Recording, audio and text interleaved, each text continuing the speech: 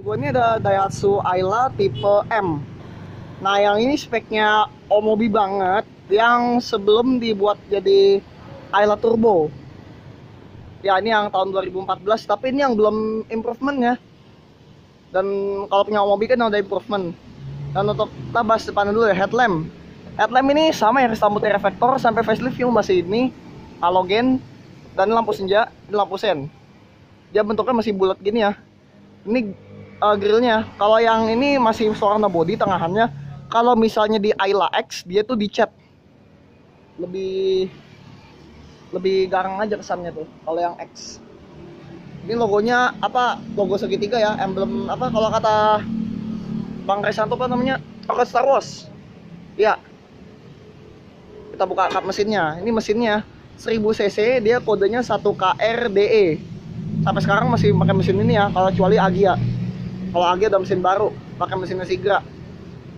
Dan ini mesin 1000 cc 1 KRDE 3 silinder. Kodenya ya, kode 1 KRDE.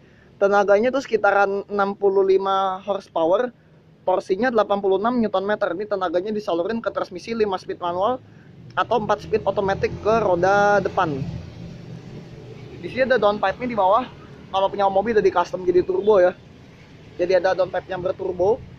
Ini belum ABS, sampai sekarang Ayla belum ABS. Untuk ram mesin udah dicat. Kap mesin udah dicat dan sudah ada peredamnya. Dia belum ada fog lamp ya di bawah. Kalau fog lamp itu mulai tipe X. Jangan jangan fog lamp juga sih lubang aja nggak ada. Harus dipotong. Dan peleknya. Peleknya ini udah diganti ya. Ini pakai peleknya Mitsubishi Mirage yang pre facelift. Aslinya tuh dia pelek kaleng ditutup dop. Kalau aslinya 13 inci. Yang ini peleknya ukurannya 175 65 R14. Aslinya tuh 13 inci. Ini udah di blackout ya. Kalau yang tipe D plus belum. Ini spionnya masih manual ya, masih touchscreen. Ini ada antena model 3 karat. Ya. Ya, aku bilang tadi di karat ya, ini talang air. Dan untuk tipe ini belum di blackout pilar. Belum di blackout pilar dan handle-nya pun masih model cungkil ya karena penter aja masih model cungkil. Kita buka. Kalau yang ini udah warna body ya. Kalau yang tipe D masih hitam doff. Nah, kita bahas door trim depannya dulu. Door trimnya itu dia uh, ini ya full plastik. Tuasnya juga hitam ya, warna hitam, auto pada sisi driver, window lock. Central locknya dari mana? Bukan dari sini. Bukan kayak Panther yang seperti I Love Facelift. Dia masih di sini. Model kutil. Jadi kayak Mitsubishi Kuda lah atau Suzuki Katana. Atau kayak ini juga hmm, Toyota Kijang kapsul zaman dulu. Sini ada speaker, cup holder, door pocket. Ya. Dan sini ada kisi AC yang bisa diputar 360 derajat. Belum electric mirror, masih masih touchscreen ya. Ini dummy aja. Ini kuncinya standar habis, nggak punya remote. Jadi kalau mau remote tambah sendiri. Ini tempat penyimpanan, tuas untuk membuka kap mesin. Ini untuk uh, ntar. Untuk membuka bagasi dari sini ya. Ini untuk bensin. Ini ya transmisi manual tiga pedal. Untuk starter apa aja nih kondisi terbuka.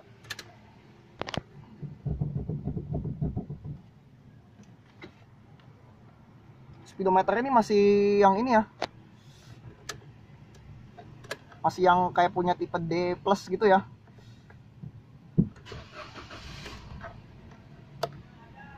Ya. Nyalain di ini belum yang improvement ya. Speedometer masih jadul banget nih kayak motor sih kalau gue bilang. Kayak motor inilah motor Honda Beat gue lah. Jadi di sini speedometer nggak masuk akal sampai 200 di sini O2 aja. Nggak ada trip belum MID juga belum ada jadi kalau yang Ayla yang apa sih dalam seling waktu ya dia speedometer berubah banget. Jadi kayak punya tipe X gitu. Jadi speedometer tipe X langsung ke masuk ke tipe M. Gitu aja. Dia juga ada takometer ya lengkap kalau untuk yang improvement yang kayak punya Omobi. Setirnya ini bentuk tiga palang ini ya. Ya setirnya ini dipakai sama Xenia yang improvement pertama ya. Generasi kedua improvement pertama. Jadi kayak gini cuman kalau untuk Ayla ini dia belum ada airbag. Karena airbag itu baru mulai varian X airbag. Tapi kalau sekarang udah tipe R. Jadi belum ada audio steering switch. Audio steering switch itu baru di facelift tipe 1,2R baru mulai. Ya pengaturannya belum masih fix ya. Sampai sekarang masih fix. Wiper dia belum intermittent. Belum intermittent ya. Rear wiper juga belum ada. Itu baru tipe X yang dapat. Lampu utama nggak punya fog lamp karena fog lamp tuh mulai tipe X juga nah dashboard ini hitam juga ya warna hitam doff. Dan juga ada chrome. Oh ya lupa. Logo Datsun-nya udah chrome. Kalau yang tipe D plus dia masih warna plastik. Ini hitam ini chrome ya kisi ini pegangannya. Dan untuk head unit. Head unit nih dia ini ya single din dia formatnya radio CD USB USB sama aux. Ini kualitas suaranya. Sesali cintaku yang hilang bisa move on. Mantap nih speakernya. Kalau untuk tipe ini udah 4 speaker ya. Untuk yang tipe M Kalau yang tipe D Dia belum pas speaker dia masih 2 speaker. Untuk tipe D yang D plus ya. Ini tempat penyimpanan nih.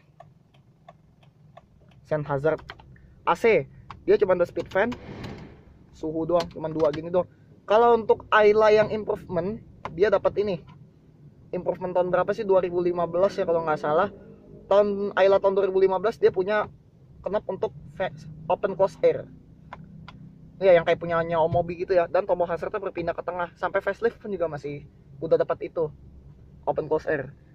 Dan sini soket lighter ini bisa nyalain rokok. Ini komentar sama Isuzu Panther punya ya.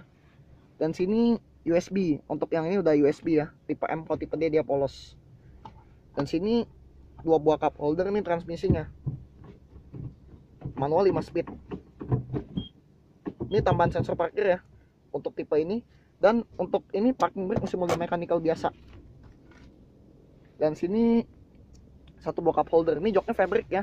Sampai ailanya Omobi masih model gini. Ini headrest eh seat belt headrest masih fix seat belt model fix. Nggak punya hand grip kalau hand grip mulai tipe X ya yang model fix gitu. Ini sun visor polos di penumpang depan polos. Spion tengah masih fix belum di night view dan lampu baca. Ini part sama Avanza zaman dulu ini. Avanza generasi pertama ini common part. Ini sun visor sisi driver polos. Belum punya airbag dan glove box dia belum soft opening. Dan ada paket penjualan nih. Owner manual book. Ini untuk buku servisnya di sini nih bukunya juga gede ya ukurannya tebel. Nah ini speknya nih satu KR ya kode kode mesinnya udah tau lah satu KR nomor rangkanya di di buku. Tapi kalau nomor rangka gue susah nyari. Terus gimana sih gue nyarinya? Ntar. Ini lewat di door trim ya. Lalu kita pindah ke belakang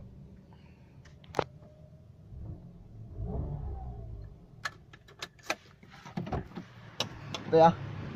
Kalau kanan mobil LCGC mesti keber dikit mobil tiga silinder.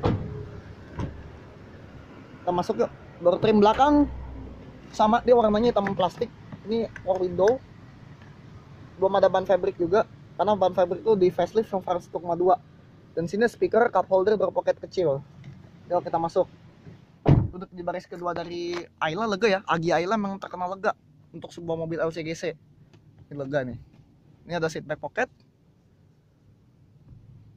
dan untuk headrest dia cuman dua aja. Kalau Agia facelift dapat tiga. Dia ada isofix juga nih. Seat belt kelihatan tonjolan ya kalau yang ada itunya mulai tipe X yang sudah ditutup cover sininya. Ini masih masih bersih banget ya kalau untuk tipe X sudah diplastikin nggak punya hand grip. Dan layout dari dashboardnya Ayla tipe M. Full black kecuali logo Daihatsu nya yang sudah chrome. Ini ada cup holder yang gue bilang tadi yang nih kalau tipe D dia polosan. Jadi untuk Ayla D yang paling bawah tuh dia polos banget. Jadi rangka banget ya.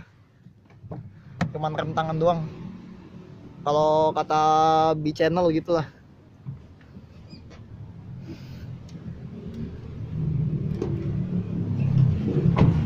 Rem depan cakram. Belakangnya tromol lah dan untuk belakang ini ini ya stop lamp ini ada lampu rem sen dan mundur. Ya tapi dia belum ada LED yang seperti di Ayla Improvement. Yang nggak nonjol gitu ya. Kalau yang facelift dia lebih lebih manjang. Kalau banyak yang bilang sih mirip sama Livina L11 ya. Iya kalau yang facelift extension stop lampnya. Kalau yang ini kan belum ada extension tambahannya.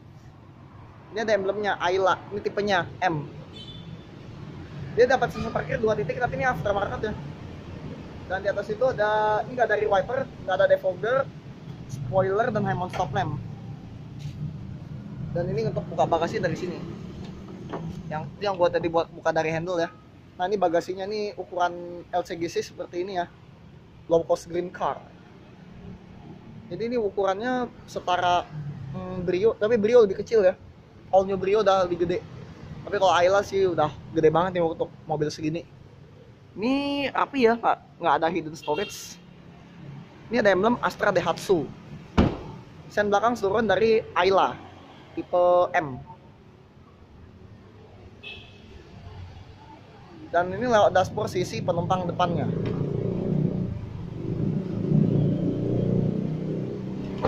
Sekian dulu review dari Daihatsu Ayla kali ini mohon dasar kata-kata dan penyampaian review silahkan untuk klik like, comment, subscribe, dan share. Kalau mau lihat Instagram gue sama Twitter di bawah ya. Makasih telah nonton sampai jumpa di review selanjutnya